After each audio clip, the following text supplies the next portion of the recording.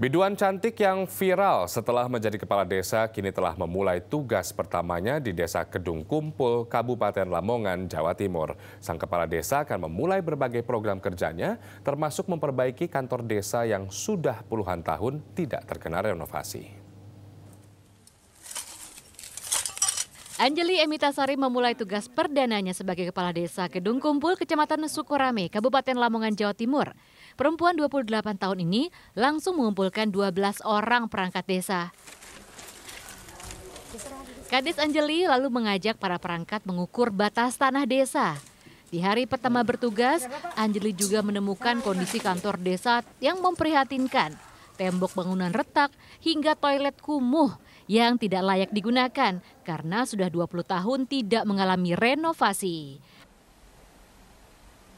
Kadis Anjeli akan mulai memperbaiki kantor desanya, bahkan berencana membeli tanah kosong di belakang kantor desa untuk memperluas bangunan kantor ini. Uh, kayaknya pembangunan ya mas. Kayaknya saya butuh di situ. Karena lihat sendiri keadaannya di sini.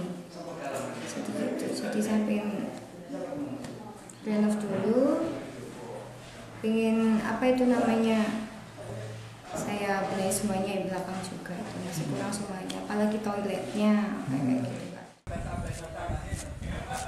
Program lainnya yang direncanakan adalah melakukan kerja sosial, belusukan ke rumah warga, terutama menjenguk warga sakit dan bantuan bagi yang tidak mampu.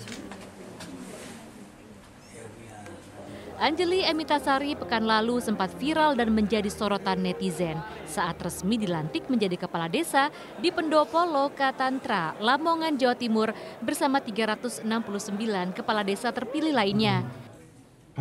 Dara 28 tahun ini sebelumnya merupakan biduan dangdut dan kerap berkeliling untuk menyanyi.